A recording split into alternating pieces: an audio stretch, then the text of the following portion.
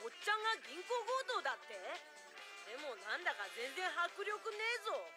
なあおっちゃんそんなことするよりちゃんと働いてお金稼いだ方がいいんじゃねえか？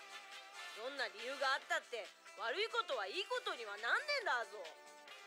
次回風助の強盗退治仮面男の謎。今度も結構大変だぞ。